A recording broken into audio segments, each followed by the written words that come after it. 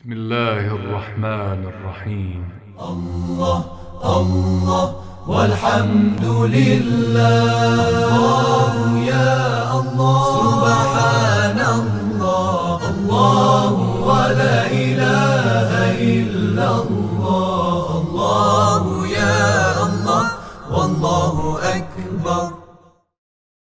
أعوذ بالله من الشيطان الرجيم. بسم الله الرحمن الرحيم. وبه نستعين.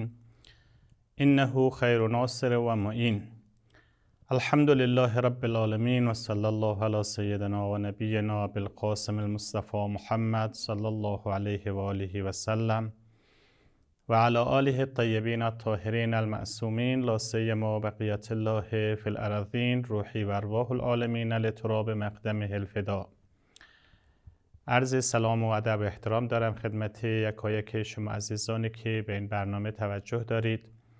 امیدوارم که مورد توجه و استفاده شما عزیزان قرار بگیرد. همون گونه که استحضار دارید در فصل سوم راجع به تشکیک وجود بحث می‌کنیم. در این زمینه مطالب مطرح شد. اصل ادعا درباره اینکه حقیقت وجود یک حقیقت تشکیکی هست.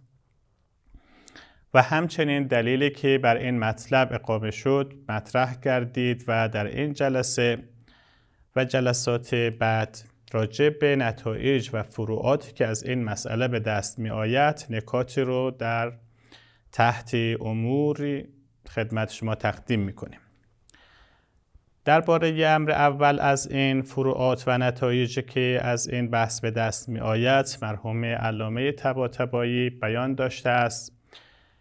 حقیقتی که در جلسه گذشته هم مطرح شد و آن این است که وقتی ما در بین مراتب مختلف و متعددی وجود تمایز قائل می شویم و می گوییم که این وجود غیر از آن وجود هست وجود آن غیر از وجود این یکی هست و به همین ترتیب این مراتب وقتی اختلاف پیدا می کند نگاه می‌کنیم که این وجه تمایز باز هم برگشتش به همون حقیقت بسیط وجود هست و در واقع همون گونه که در اصل ادعا و اصل مطلب اشاره شد وقتی ما به حقیقت تشکیکی اشاره می‌کنیم معنایش همین است که این تمایزها و همچنین اشتراکات برمیگردد به همون حقیقت بسیط وجود.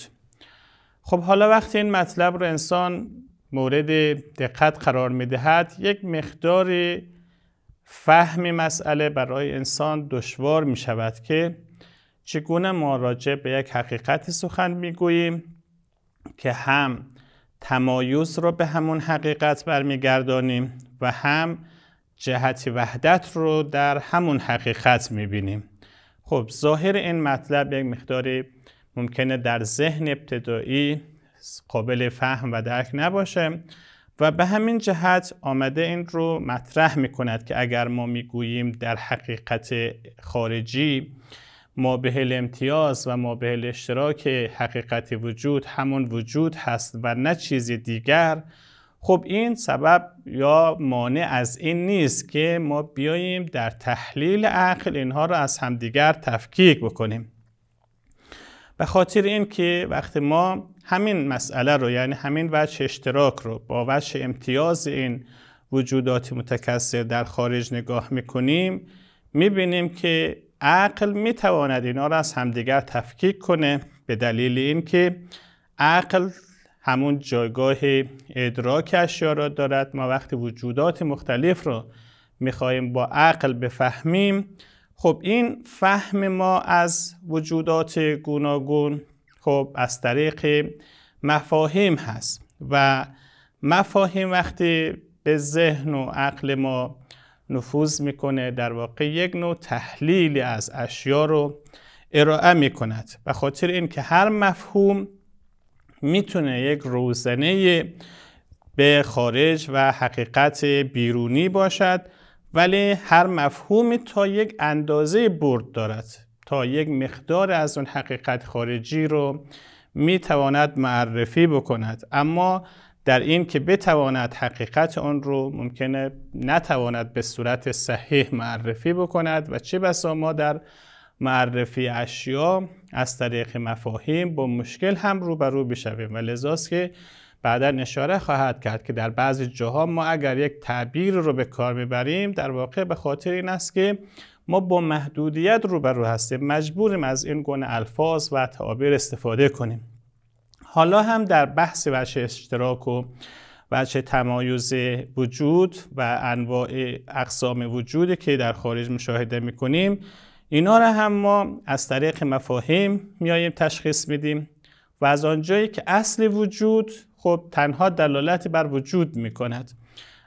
و معرفی از کیفیت و ویژگی ها و خصوصیت های دیگر رو نمی‌تواند انجام بدهد. لذا ما وقتی بین وجود واجب با وجود ممکن می‌خواهیم اینا رو با همدیگر مقایسه بکنیم اگر از ناحیه خود حقیقت وجود اینا رو بررسی بکنیم وجود تنها به ما همون حقیقت وجودی اونها رو بیان می‌کند.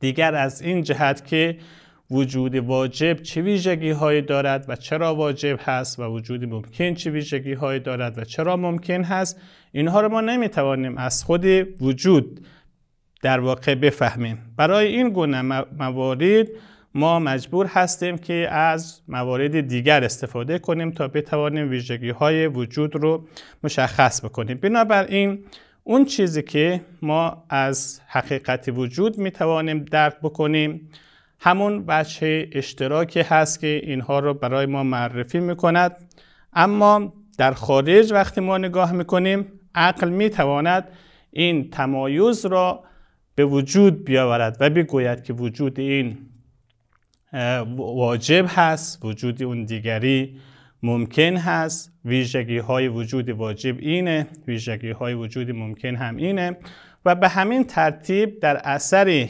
همین تحلیل عقل در, در اثر همین مفاهیمی که در ذهن انسان خطور می‌کنه می توانیم تفکیک های را به وجود بیاوریم. بنابراین اون چیزی که در این امر اول محل بحث هست این است که ما می توانیم از یک جهت اون چرا که در خارج ما به هل اشتراک و ما به هل امتیاز است اون رو به حقیقت وجود برگردانیم و همه رو یک چیز بدانیم. اما اختلاف در مراتب وقتی پدید می آید اینها را ما از طریق همون ادراک عقلی می‌فهمیم. ویژگی های اونها را عقل برای ما تشخیص میده و لذا تمایز ها هم به واسطه همین فهم عقل به وجود می آید این نکته اولی که در این فر بیان می شود نکته دومی که بیان می کند این است که ما وقتی در مراتب وجود هم میاییم بحث می کنیم حالا وجه اشتراک مشخص شد که حقیقت وجود ما به اشتراک همه وجودها هست. وقتی به تمایز وجودها در نتیجه مراتب مختلف وجود میایم نگاه میاندازیم دوباره در همین مراتب وجود باز می‌بینیم که تفاوت‌های دیگری از یک ناحیه دیگری پدید میآید و اون هم این که در بین مراتب وجود یک نوع اطلاق و تقیید خلاصه مطرح هست که برخی از وجودها قیدهایی دارد برخی از وجودها قیدهایی رو نداره. در این که قید کمتری دارد قید بیشتری دارد باز به همین ترتیب می‌بینیم یک نوع تمایزهای بین همین مراتب وجود از این جهت اطلاق و تقیید هم به دست می آوریم بنابراین از یک جهت دیگر وقتی ما در مراتب مختلف وجود نگاه می‌کنیم می‌بینیم که یک مرتبه از وجود شدید هست یک مرتبه دیگرشون هم ضعیف هست. خب در نتیجه می توانیم این نکته رو به دست بیاوریم که اون مرتبه شدیدتر از یک کمال بیشتری برخوردار هست و همان گونه که در مرتبه ضعیف می توانیم برخی از کمالات رو نبینیم و یا اون کمال رو در مرتبه ضعیف کمتر مشاهده بکنیم. بنابراین تا حدودی میشه در نتیجه همین مقایسه کردنی که مراتب وجود رو با همدیگر مقایسه می‌کنیم این نکته رو هم به دست بیاوریم که وقتی به مرتبه ضعیفی از وجود نگاه می‌کنیم گویا یک نکته رو که میشه از اون به دست بیاوریم که البته این هم باز از همون محدودیت هایی که ما مجبوریم این گونه تعبیر بکنیم اگر نه حقیقت این گونه نیست که وقت ما به مرتبه شدیدی وجود نگاه می‌کنیم. خب یک مرتبه هست که کمالات بیشتری رو داره. و در مرتبه ضعیف وقتی می‌رسیم نگاه می‌کنیم گویا این گونه احساس می‌کنیم که در این مرتبه ضعیف یک مقدار از اون کمال وجودی با یک مقدار از عدم کمال یعنی از نبود ترکیب شده و این مرتبه ضعیف به وجود آمده است.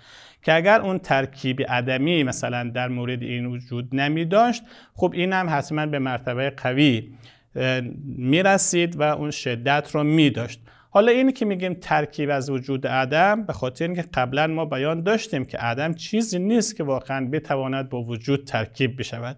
ولی وقتی ما در مقام مقایسه بین مراتب مختلف وجود اینها رو نگاه می‌کنیم احساس می‌کنیم که در مرتبه ضعیف یک کمبود وجود دارد یک نقصی وجود دارد یک عدم وجود دارد.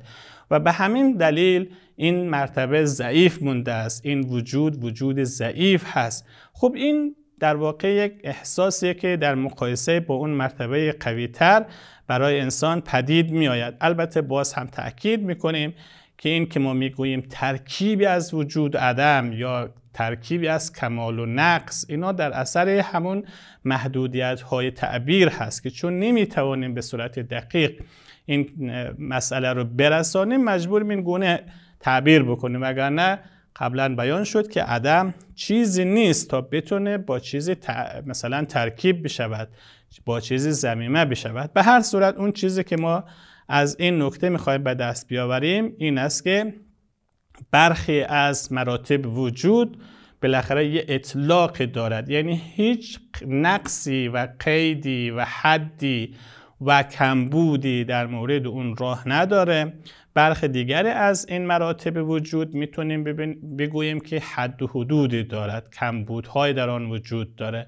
و بعد این ترتیب اون اطلاق تقیید هم که مطرح شد به این مسئله اشاره دارد تا اینکه این سلسله سیر مراتب وجود را ما وقتی نگاه می‌کنیم این شدت وجود وقتی ادامه پیدا می‌کند و سیر سعودی و کمالی خودش را میپیماید می‌رسد به جایی که مطلق محض است. یعنی هیچ حدی و نقصی و کمبودی نمیشه در آن پیدا کرد که اون وجود واجب تعالی هست که اون وجود مطلق محض هست. برای اینکه هیچ گونه ضعفی و نقصی و کمبودی و حد و محدودیتی برای اون نمی‌توان انسان در نظر بگیره.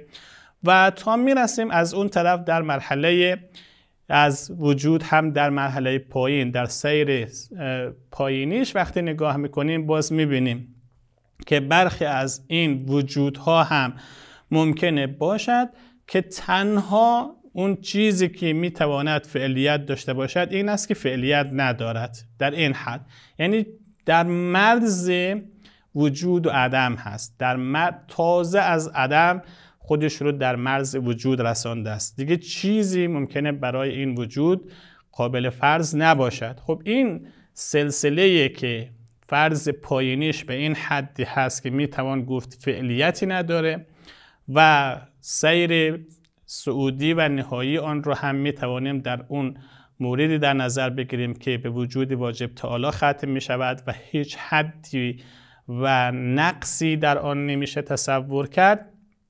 در وسط این دو می توانیم بی حد شاید مراتب دیگه از وجود رو هم تصور کرد که این نکته دوم است که می‌خواد بیان بکند که این سیر و سلسله طولانی که حقیقت وجود را شکل می‌دهد که یک سر آن به واجب تعالی می‌رسد و یک سر آن هم در مرز عدم قرار دارد در وسط آن مراتب مختلف و متعدد از وجود قرار دارد که به هر مقدار این حد و قید و نقص و عدم در اونا کمتر باشد سیر سعودیش و درجه شدتش بیشتره و به هر مقدار هم این قیدها و محدودیت در آن اضافه باشد حتما درجه و رتبه اون هم پایین و پایین تر خواهد آمد. خب حالا این دو تا امر رو از این فروعات رو محضر شما عباراتشو می‌خوانیم. حالا اگر رسیدیم به فرع سوم هم اشاره خواهیم کرد.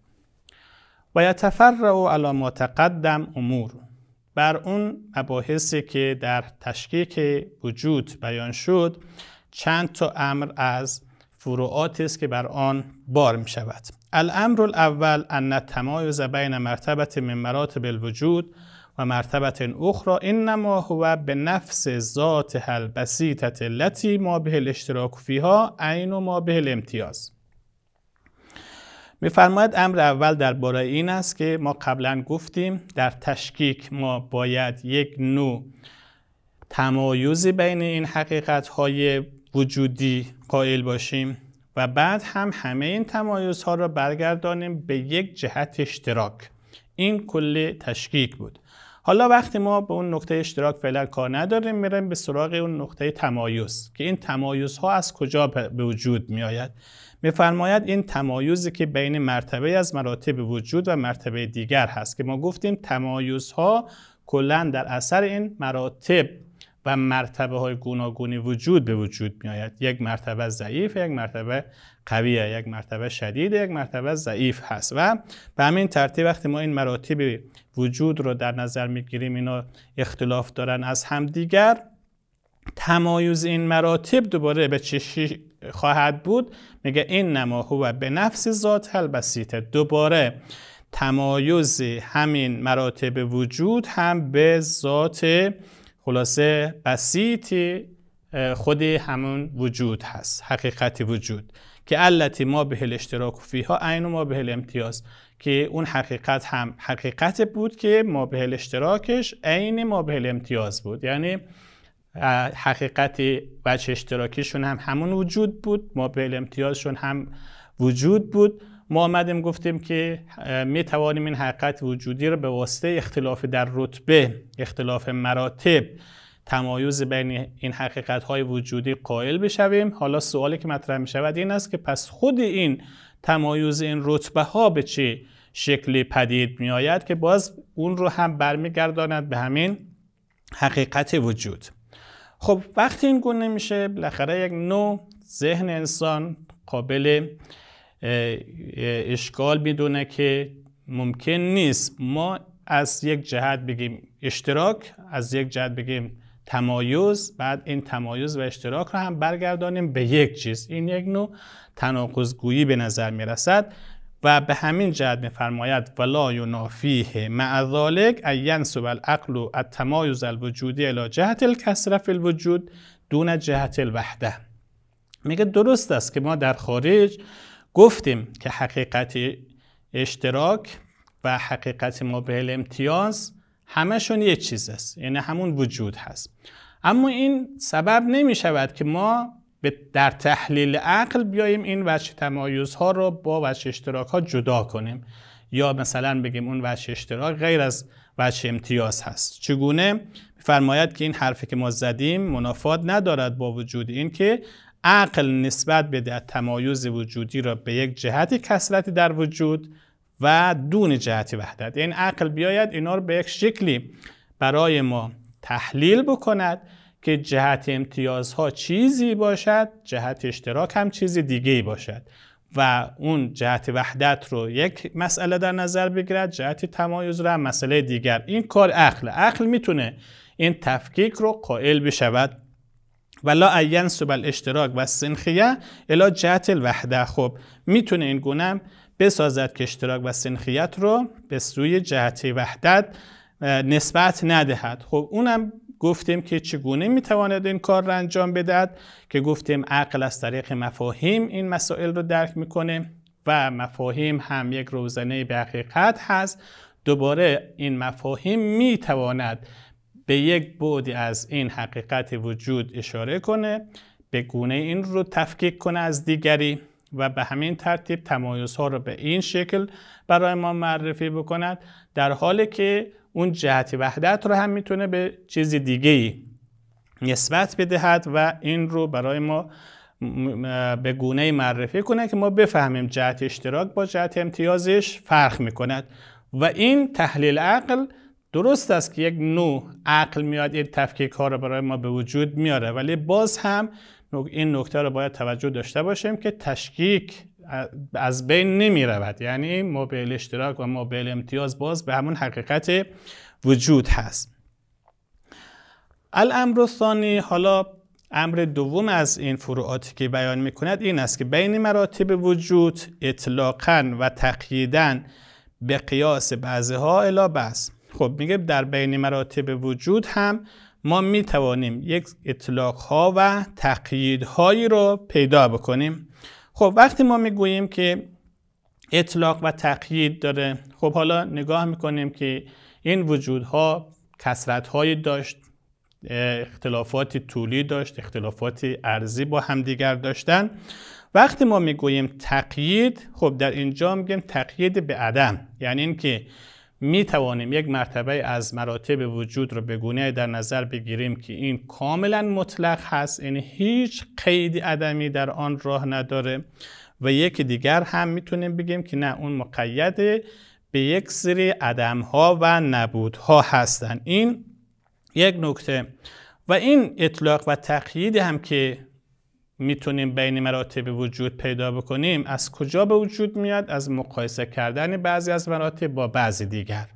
خب وقتی ما دو مرتبه رو با همدیگر مقایسه می‌کنیم یه تفاوتی از این ناحیه هم پیش میآید که یک مرتبهش ممکنه هیچ حدی و قیدی نداشته باشد ولی مرتبه دیگر کاملا مقید به قیدهایی باشد. لذاست که این مقایسه می‌تونه این کار رو برای ما به وجود بیارد. حالا این مقایسه ممکنه این گونه باید در نظر بگیریم که مراتب وجود رو اگر به این شکل در نظر بگیریم این اطلاق تقیید به وجود می آید ولو هیچ مقایسه کننده هم نباشد در عمل.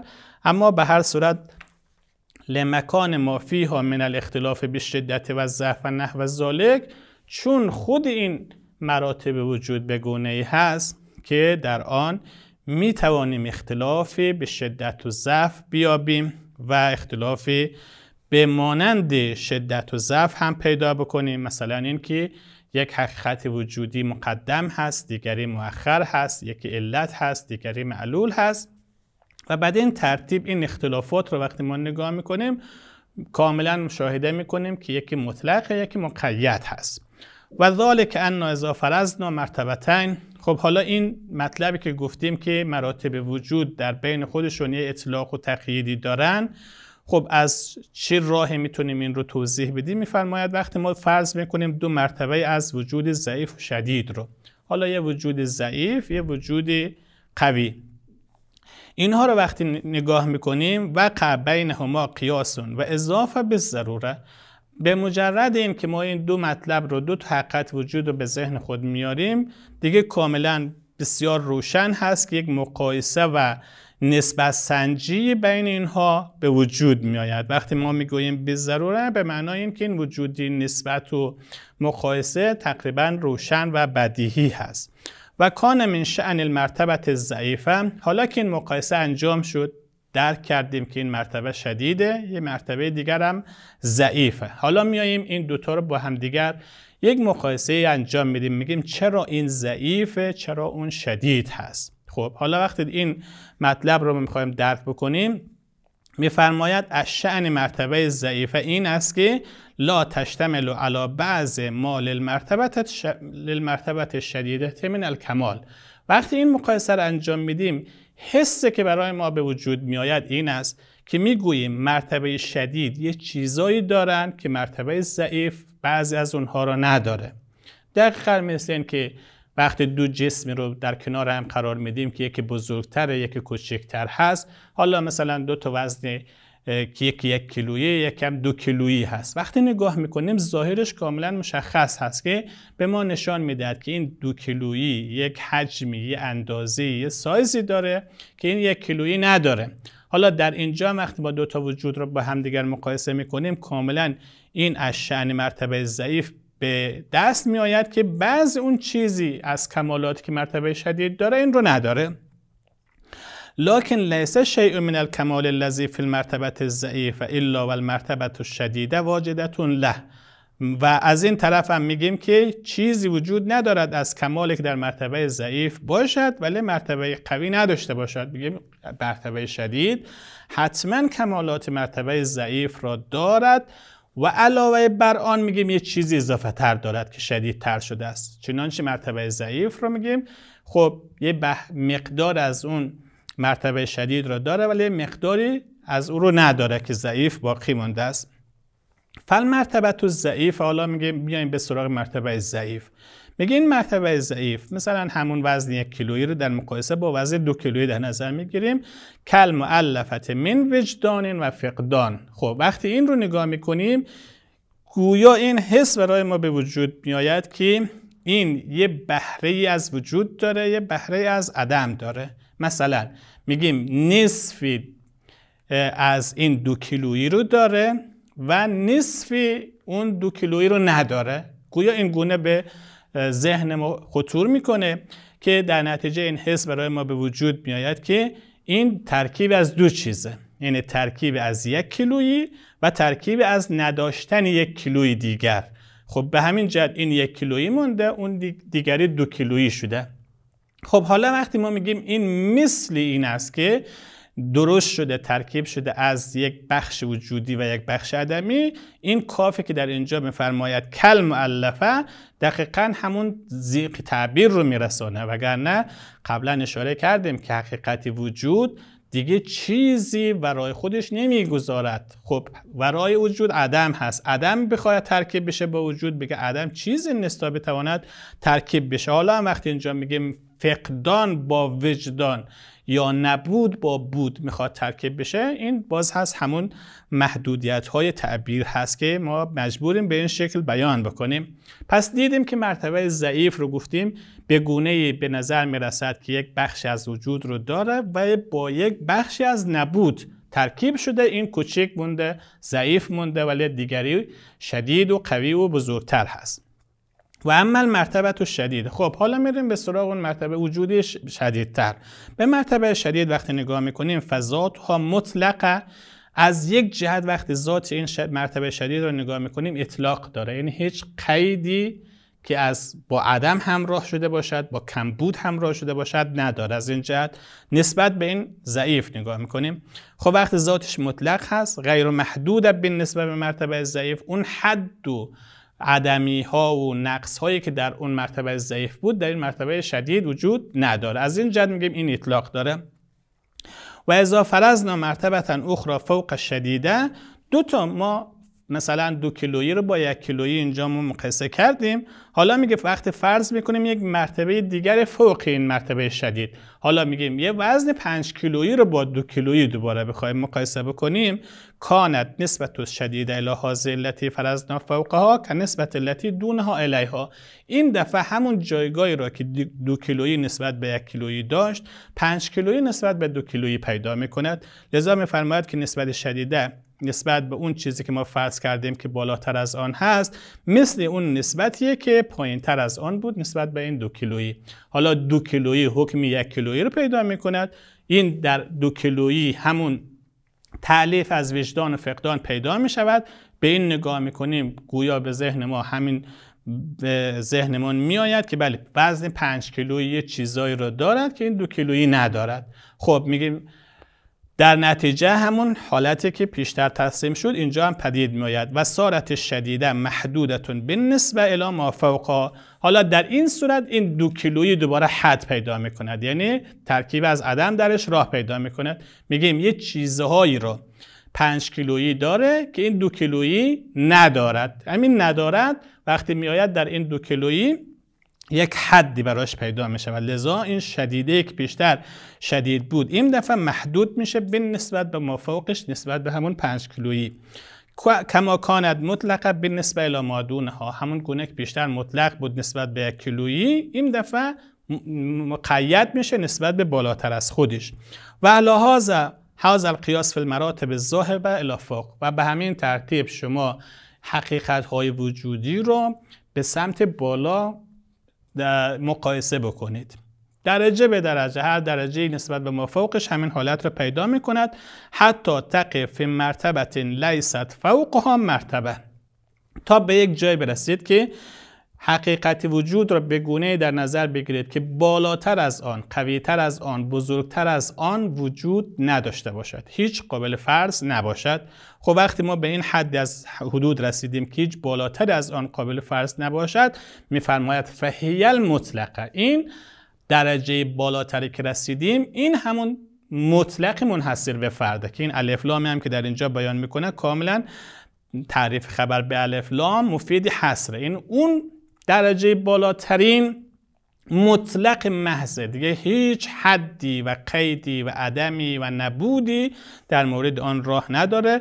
من غیر ان تکون محدوده که اون مطلقه دیگه هیچ حدی برای آن نمیشه پیدا کرد الا به انها لا حد لها.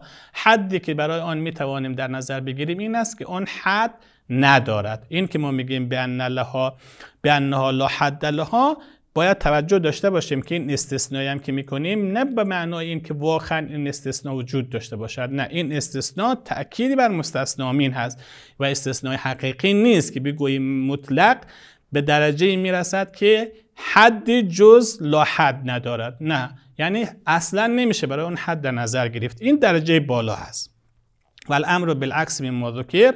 اما وقتی به سیر سقوط و نزولی نگاه می‌کنیم که این سلسله وجودی وقتی به سمت پایین میآید خب این حد پایین هم از وجود هم باز یک مرتبه دارد که میفرماید امرش برعکس است از اون چیزی که ذکر شد اذا اخذنا مرتبه ضعیفه که اون مرتبه ضعیفی که ضعیفتر از آن دیگر وجود نداشته باشد به اون مرتبه هم باید ما سر بزنیم که وقتی به اون می‌رسیم و اعتبرناها مقیس الی ما هی از ها هر چقدر میاییم میگیم این ضعیفه باز ضعیفتر از اون یکی دیگه است از اون دوباره یکی دیگه است. تا می‌رسیم به جایی که دیگه از اون پایینتر نمیشه فرض کرد.